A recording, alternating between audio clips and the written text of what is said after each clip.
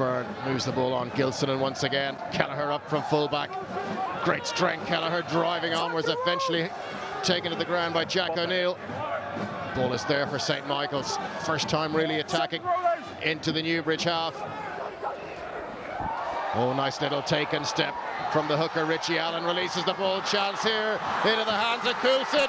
Moves it out. And Mikey O'Hare gets in for the try.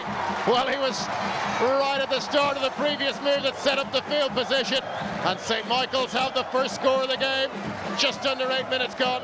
Fantastic score. And, and that, that interplay you talked about before the game to look out for Michaels coming into action here.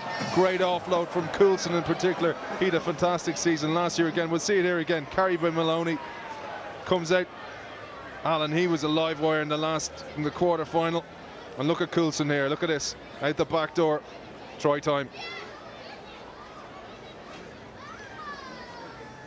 Prop forward passing like that, that'll co get coached out of him before long. the good thing about what Dennis Coulson did on this occasion was he actually, and, and you know, you, a, lot, a lot of macho-ness go, goes around having weights, doing a lot of weights work and that type of stuff.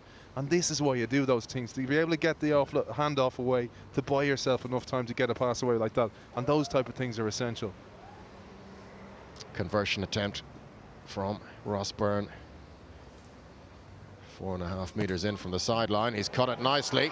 Is he, he has the direction. Has he got the distance? He has indeed. What about that from Ross Byrne? Fantastic kick to go with a fantastic try.